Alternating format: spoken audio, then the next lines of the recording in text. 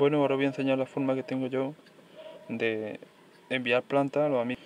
Se trata de coger botecitos que tengo ahí en esa bolsita, de lo que utilizo yo para in vitro, y vamos a coger un poquito de musgo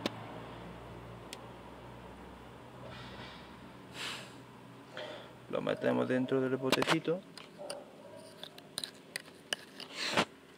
una vez que hayamos metido en el bote un poquito de musgo un poco húmedo. Nos vamos allí al invernadero donde tengo la, la dionaea.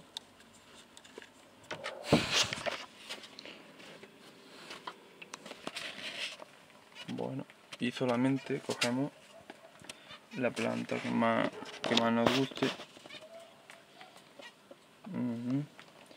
Por ejemplo esta que me gusta con una pinza que esté esterilizada de plata. Cogemos la plantita desde la raíz. De esta forma.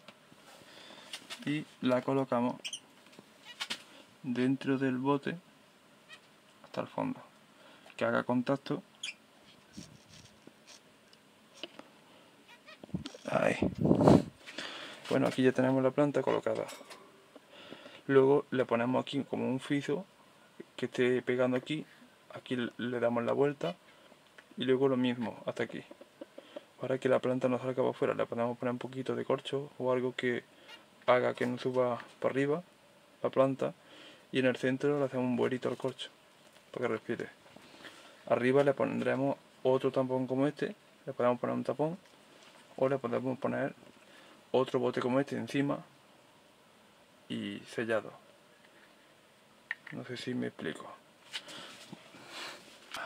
Vamos a meterle una plantica más de regalo a mi amiguete. Vamos a ver si encontramos por aquí. Vamos a ver si encuentro alguna plantica. Que esté chula. Mm, mm, mm,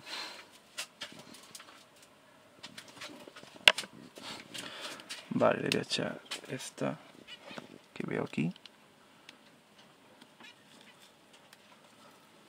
Mirad, le voy a echar esta. Hay menos luz aquí que esta es la que le voy a echar de regalo.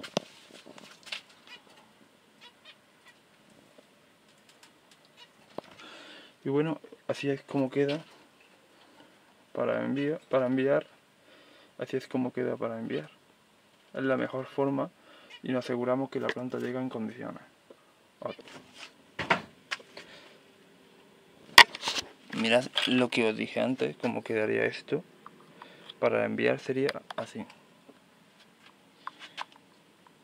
La planta abajo, aquí esto con desafín cerrado un poco, que no suba la planta hacia arriba con corcho, y encima esto para que respire en el viaje. Así es como quedaría. Planta abajo y un respiradero arriba. Si el, el no está bastante húmedo no hace falta echarle agua. Y esto serviría para cualquier tipo de planta.